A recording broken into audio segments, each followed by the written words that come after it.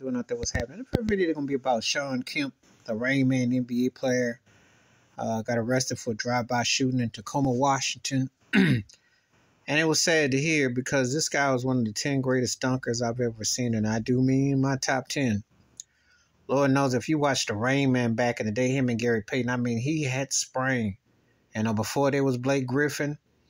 And um, you can mention Ja Morant, even though he's shorter.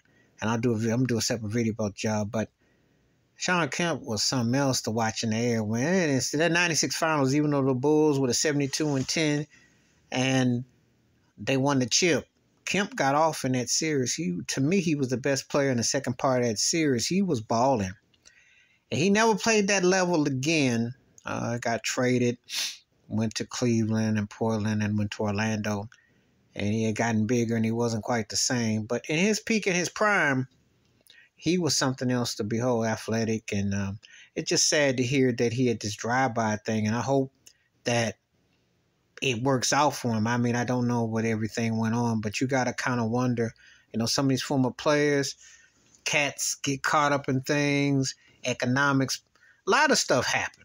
You just don't know. And you can't always assume that because cats got a certain lifestyle, a certain that you appear, that it's always what it is, because we know that ain't always the case. But it was quite, you know, the sadness to see that about Shawn Kemp, because uh, he definitely was somebody that back in the day, you know, he definitely became quite the leaper and uh, was a good basketball player. And, and it's just sad to see about stuff like this. So hope that it, it works itself out. But it was sad, it's sad to hear about.